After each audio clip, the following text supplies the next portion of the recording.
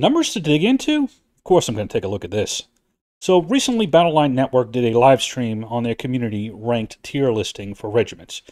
First, I'll say go and check out that video. Link is in the description, and if you are not already, give a like and subscribe to BLN, as this video would not be possible without his work. And really, it's a fun video as well. I definitely recommend checking it out. A lot of good banter going back and forth. Good nature, too. Nothing, you know, not a lot of backbiting, anything like that. Just people having fun. So please go check out that video. As they talked about the rankings, a few things came up, and I thought it might be a fun exercise to run the numbers that Eagle gathered in a slightly different way to see if I came up with any other interesting results. This is not a rating on how good units are, or who is the best, or my opinion on them in any way, but merely reflects the respondents' perceptions in BLN survey. And really, it's just for fun, so please don't take this too seriously. If I were to identify any initial bias here, the respondents were likely subscribers to BLN to begin with. Eagle used a ranking system of S to F for each unit by each respondent and then tabulated and averaged the scores, producing a ranking for the 75 units. He provided guidance that if a respondent didn't know the unit to rank, it was to be listed as a C to minimize its impact. And again, so with BLN's respondent poll, that means you're going to have responders who are in those units who most likely go to events that he covers. So that impacts those potential ratings. For the purposes of this exercise, I'm going to apply two different scoring systems using the same database and then combine and see the difference in rankings. Three sectors were of general concern, as highlighted during the back brief on the results by Eagle and his uh, team. The first was concern over unknown unit score being inflated with the C ranking, per the guidance that was given. Other concerns included troll voting for S and F scores and inflated voting for S tier by people voting for their own units. To control for all these concerns, I eliminated all three of those rankings, the S, the C, and the F tiers, from the population, leaving only the A, B, and D available to interrogate. For the first uh, new way of tabulating the data that I used, I awarded an A ranking with three points, a B ranking with two points, and D with one point, then adding them all together for an overall score. I then averaged the scores based on total respondents for each unit to provide a uniform score across all the units, resulting in an overall ranking.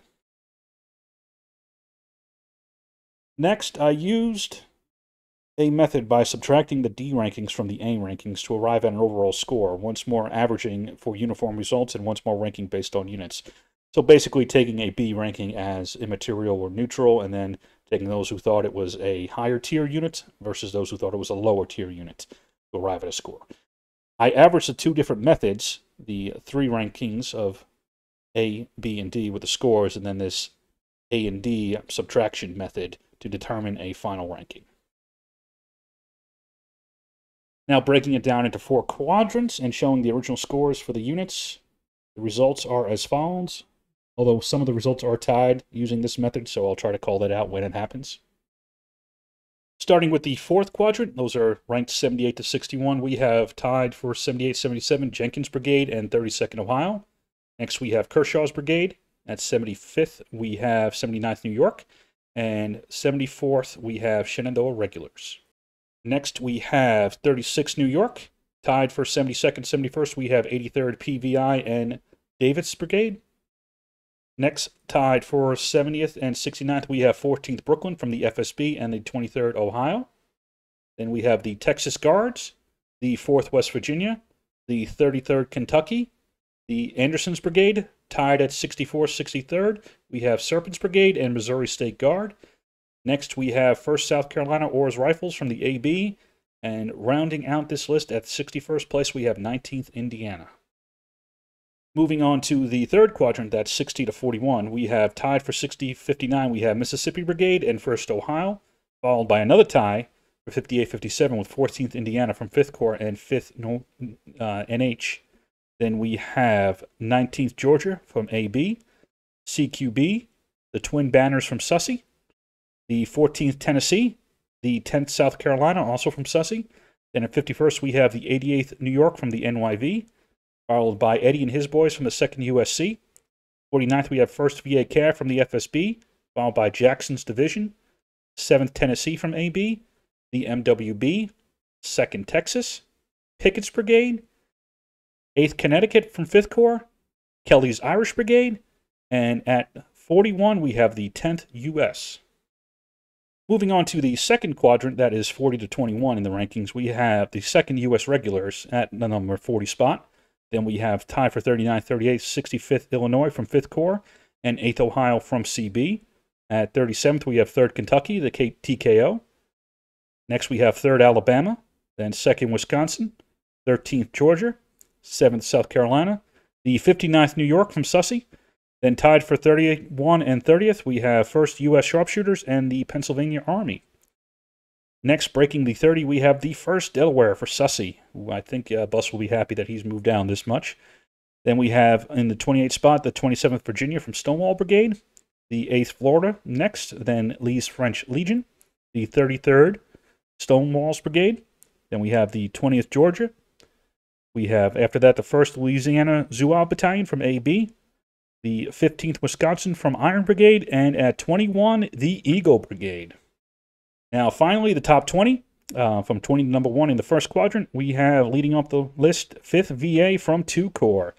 Followed and tied for 19th and 18th, we have Hood's Division and 9th Corps. And at number 17, we have 12th VA. At number 16, we have 42nd PA.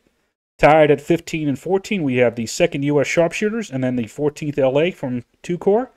Next, tied for 13 and 12, we have 6 LA from 2 Corps and Hampton's Legion. Next, we got 6 Wisconsin from Iron Brigade. Then tied in the top 10, for the spots number 10 and 9. A and V has gone all the way down there, but IVB has shot all the way up. So a uh, bit of a switch there of those two units to the 10 and 9 spot. At number 8, we have 11th Michigan. At number 7, we have 6 NYV.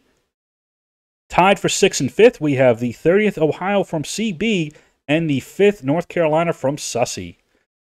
At 4th place, we have 7th LA. At 3rd, 4th New Jersey.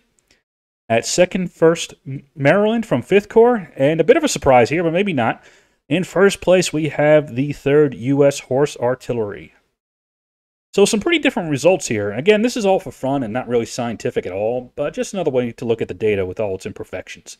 I hope you guys enjoyed it, and please, again, make sure you give Eagle a subscribe and a like to his video. But let me know your thoughts in the comments below. What you guys thought of my analysis. You know, just a little fun thing with the numbers. And I uh, hope to see you guys for the next videos. This is Kotow signing off.